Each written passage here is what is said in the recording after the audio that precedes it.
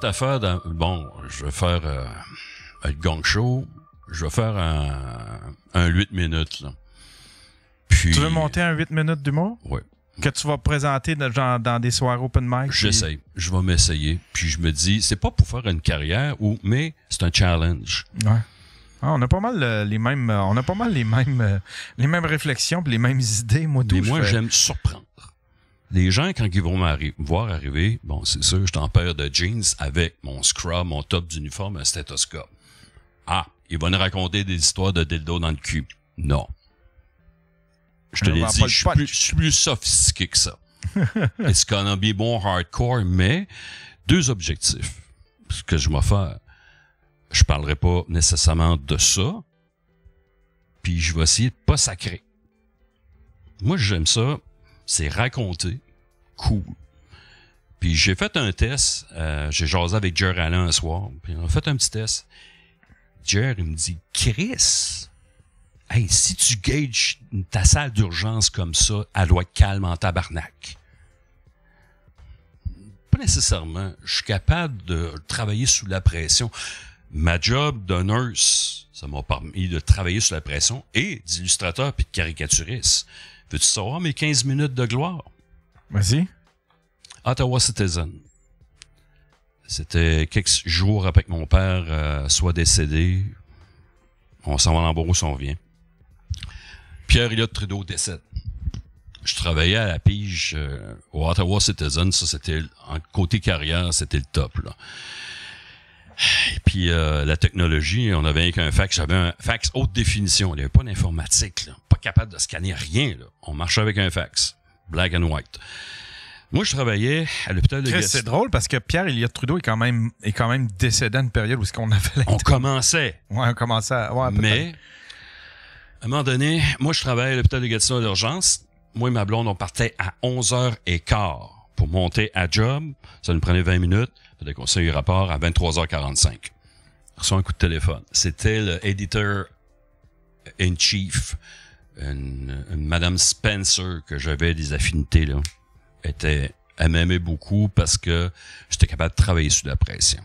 À un moment donné, il y avait un cartooniste qui, ils sont toujours en retard pas capable de respecter les heures de, de tomber, toute le kit. Puis ça fait qu'à un moment donné, il dit, Yves, I'm sorry, I, can you do something about uh, Pierre Trudeau?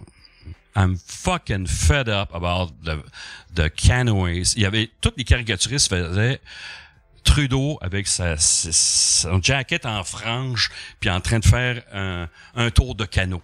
C'était l'image de Trudeau. On- tout le monde faisait ça. Puis en plus, c'est une photo stagée. Bon, la joke, photo stagée. Puis celle de, ton, de son fils est aussi stagée, tu sais. OK.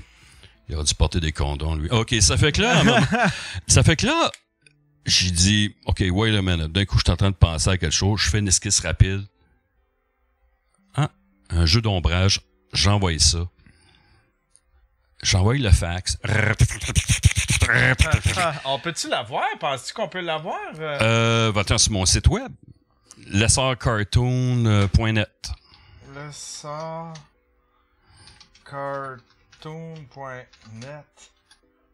C'est très orange. C'était là. Ok, Yes, On l'a c'est ici, arrivé. Va-t'en dans, dans euh, mettons, mon portfolio. Portfolio. Et Ah voilà, ouais, la première cartoon. La Ah première ouais, cartoon de gauche. Hey, c'est le fun. Ça, c'était Trudeau. J'ai pris le drapeau du Canada, j'ai enlevé la feuille d'érable et j'ai mis l'ombrage de Trudeau. Avec sa fameuse rose. Il y avait toujours une rose à la boutonnière. Ah, je me souviens pas. Ça fait que là, euh, la deuxième cartoon, ça, c'est le maire d'Ottawa, Jim Watson, qui avait gagné des élections, mais les élections, c'était salaud. C'était comme The Game of Thrones. Je l'ai mis dans le... Puis ça, en passant, ça, c'était une page... Tu vois, euh, Trump, c'est une page couverture que j'ai faite pour un livre.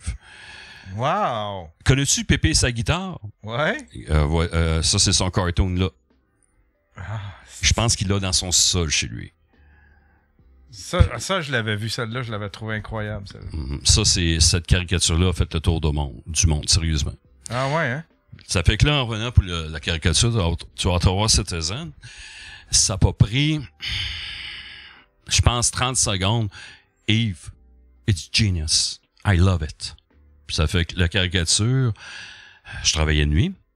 4h30, 5h du matin, il y avait des gars de la sécurité qui recevaient les journaux. Tu avais le Journal de Montréal, tu avais le National Post, l'Ottawa Citizen, le Sun. Il y a un gars qui m'appelle Yves, hey, en avant là, quelque chose à te montrer. Le cartoon était, t'ouvres la page, là, puis tu vois le cartoon avec tous les columnistes, les plus, les plus grands columnistes du Canada qui faisaient un hommage à Trudeau. Puis elle a passé aussi au National Post. Wow! A eu 100 pièces pour ça. Mais 100 pièces c'était gros dans le temps. Mais c'était mes 15 minutes de, de gloire, puis il y a du monde qui me disait Hey, c'est ton père qui te fait qui t'a donné un cadeau. Mon père venait juste de décéder, il dit Ah, c'est un signe. Moi, ça me fait rire là, quand il me parle d'un signe, là. Mais tu sais, belle coïncidence. Mais euh, non, je te dis, pour partir d'un d'un gars d'un fond d'un rang qui écoute, il y avait rien qu'une euh, une télévision avec trois canaux.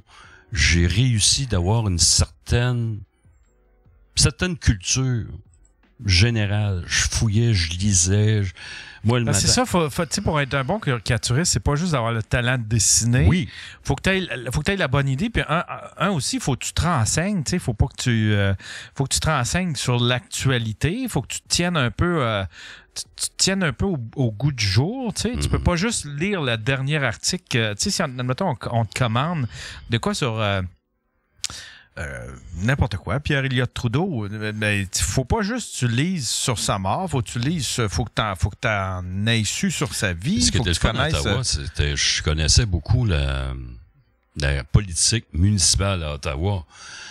Euh, qu'est-ce qu'il y a de plus plate, de la politique municipale? Mais j'arrivais à faire rire le monde, à réagir le monde.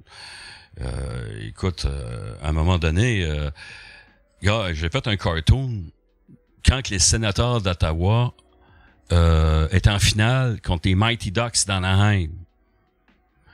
Te souviens-tu de Bugs Bunny puis Daffy Duck? It's rabbit season. No, it's duck season. It's rabbit season. It's duck season. Ah, ouais. j'ai fait un, un canard qui représentait les Mighty Ducks d'Anaheim. Puis Bugs Bunny, un- mettons, un look-alike de Bugs Bunny que le chandail des sénateurs, puis tu vois le poster se marqué Duck Season. OK. C'était. J'aimais beaucoup parodier. Euh, mais moi, je pense que ma force, quand je dessinais quelqu'un, c'était ressemblant. Ça ressemblait. Il y en avait qui mettaient des petits, le nom du policier en, en question, mais euh, il y avait des gars, même quand j'étais en Beauce, là, j'avais des bonnes, des bonnes euh, faces à caricature. Moi, un de mes préférés, c'était le père de Maxime Bernier. Euh, Gilles Bernier, c'était un gars qui était connu dans Beauce. C'est un animateur de radio, tout, avec une grosse voix radiophonique, tout. Mais le gars était aimé dans le coin.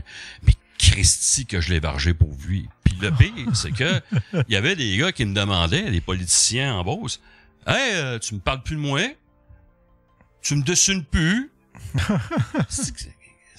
Tu sais, moi j'adore ton expression. Crise de mange de cul.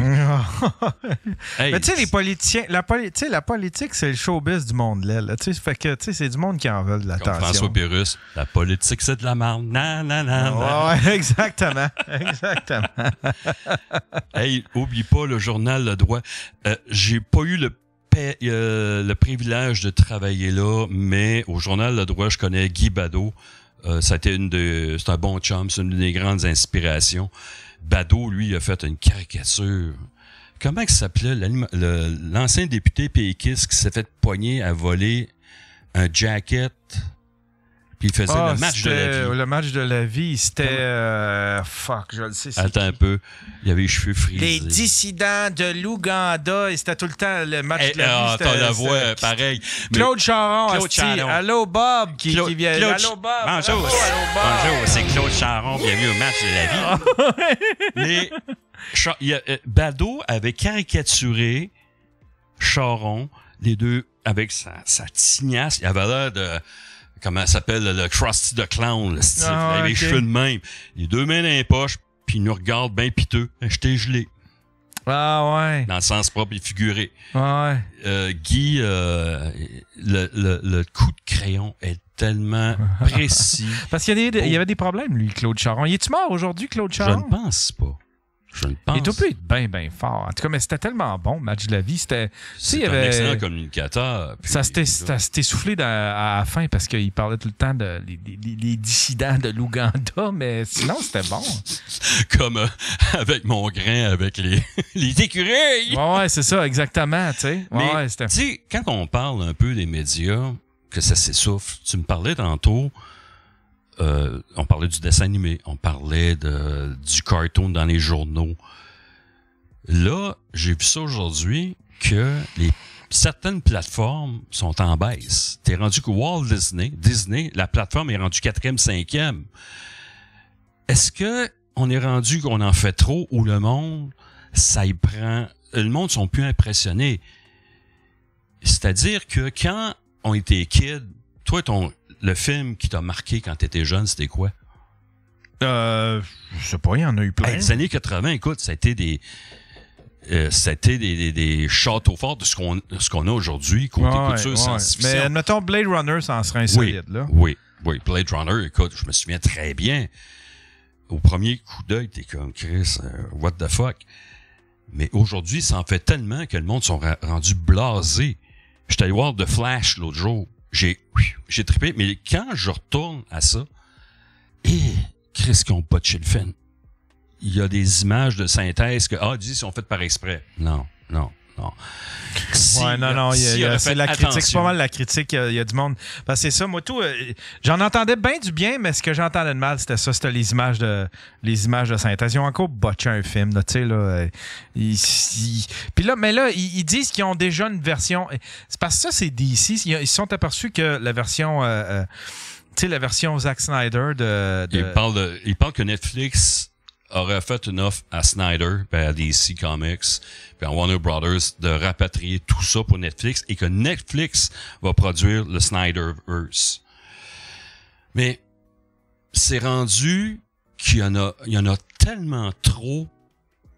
Ben, surtout les super-héros, là, tu sais, là, on a on saturé, le, le marché est saturé, puis on est rendu de plus en... Tu sais, c'est comme, si on est pour en avoir 20, il est où le bon? Fait que c'est pour ça qu'on est rendu exigeant, c'est parce qu'on en a vu tellement, puis on le sait que, tu sais, il en sort tellement, tu fais comme...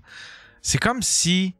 Ah, ils veulent juste, ils veulent juste mettre la main dans ma poche. Ils veulent pas, ils veulent pas me faire un bon film. Ils veulent juste me mettre la, mettre la main dans ma poche. Puis là, tu suis, tu suis toute la politique autour de ça, puis tu- tu- tu- tout le mal qu'ils se donnent, puis qu'ils qui, qui essayent de. Fait que les- je pense que les gens sont vraiment tannés.